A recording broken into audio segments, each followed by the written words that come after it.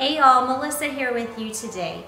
And some of you have been following for a while may know that we moved into a new house about 10 months ago.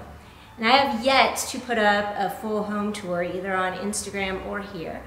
But since we got all decorated up for Christmas, I thought I'd do a little bit of a holiday home tour today.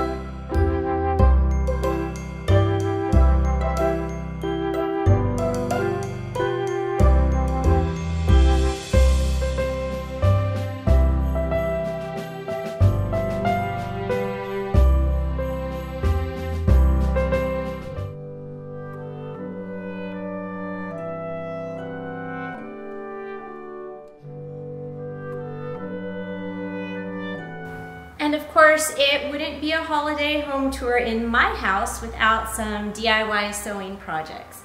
So these pillows, for example, I just made pillow envelope covers for my normal couch cushions.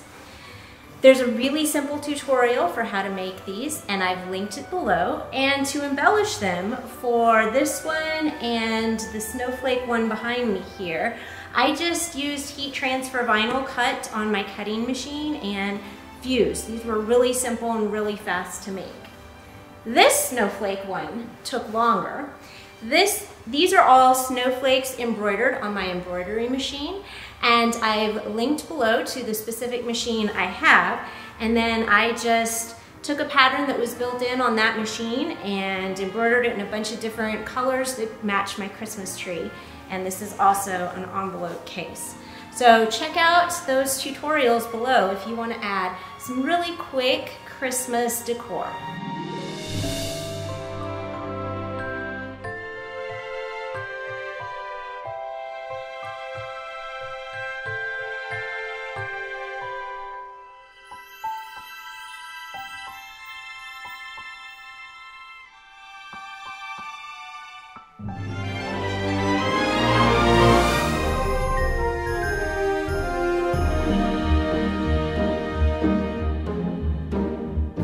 Another piece of handmade decor you might have spotted in that video are these stockings that I made for us last year.